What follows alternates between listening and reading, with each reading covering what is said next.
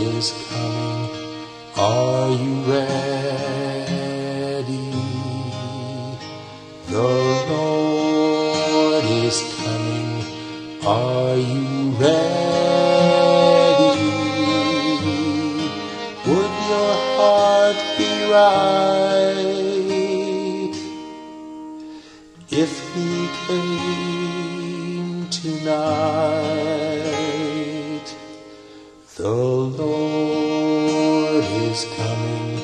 Are you ready?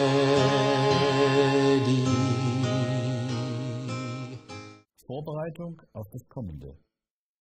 Sucht den Herrn, alle ihr Demütigen des Landes, die ihr sein Recht getan habt. Sucht Gerechtigkeit, sucht Demut.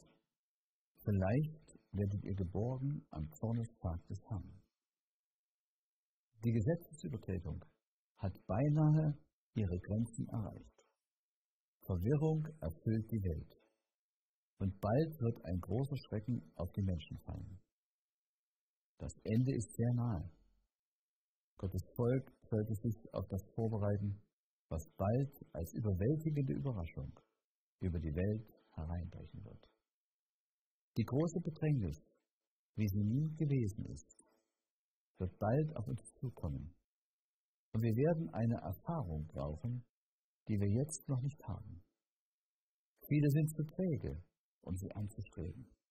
Ja, es stimmt, dass die Not in der Erwartung schlimmer ausfällt als dann in der Wirklichkeit.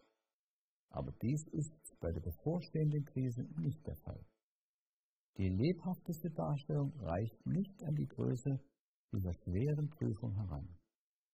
In dieser Anfechtungszeit muss jeder für sich alleine vor Gott bestehen. Wären auch Noah, Daniel und Hiob darin, so wahr ich lebe, spricht Gott der Herr.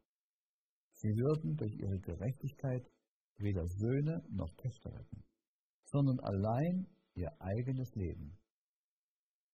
Der letzte große Kampf zwischen Wahrheit und Irrtum ist nur der Endkampf in der lang anhaltenden Auseinandersetzung um das Gesetz Gottes.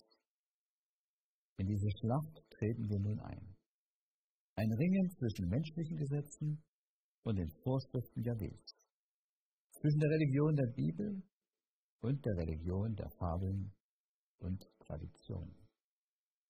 Wir sollten die großen Wegweiser studieren, die uns verraten, in welcher Zeit wir leben. Wir sollten jetzt sehr ernstlich darum beten, dass wir für die Kämpfe des großen Tages seines Rüstens vorbereitet sind.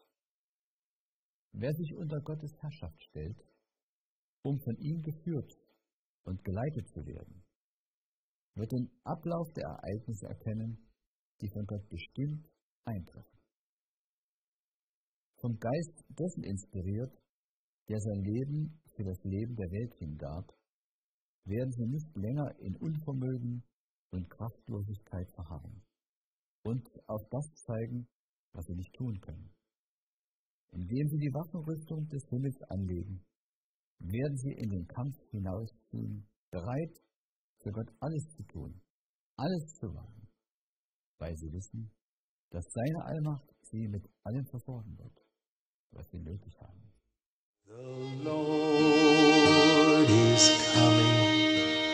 The